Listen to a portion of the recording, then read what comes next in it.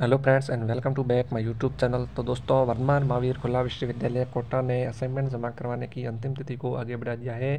दोस्तों official notification आज जारी हुआ है। दोस्तों, मैंने पहले ही कहा था कि ये अंतिम तिथि है। वो दोस्तों लगभग दोस्तों, आगे बढ़ेगी एक महीना आगे बढ़ेगी तो दोस्तों, आपकी तिथि वो बहुत आगे बढ़ गई है, यानी डेढ़ महीना दोस्तों, आपकी तिथि आगे बढ़ गई है।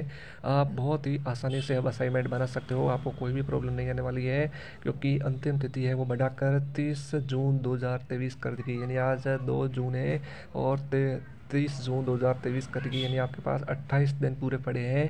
दोस्तों, ये जून जून 2023 वाले जो एडिशन है, जुलाई 2022 वाले एडिशन है, जिनकी परीक्षा जुलाई 2023 में होगी, यानी जुलाई 2022 में प्रवेश लेने वाले छात्रों की अंतिम तिथि जो 15 मई थी, उसे बढ़ाकर तीस जून 2023 कर दी गई है।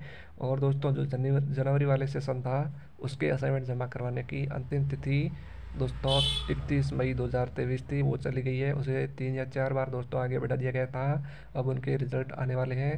तो दोस्तों, उनकी तिथि अब नहीं बढ़ाई जाएगी, जुलाई 2022 की तिथि है वो दोस्तों, तीस जून 2023 कर दी गई है, जो बीए के छात्र हैं, उन्होंने असाइनमेंट नहीं बनाए थे लेट आए थे तो आसानी से बना सकते हैं, और बी के असाइनमेंट के सॉल्यूशन भी आपको इस वीडियो के नीचे डिस्क्रिप्शन बॉक्स में लिंक में दिए गए हैं, वहाँ से दोस्तों आप सॉल्यूशन भी देख सकते हैं।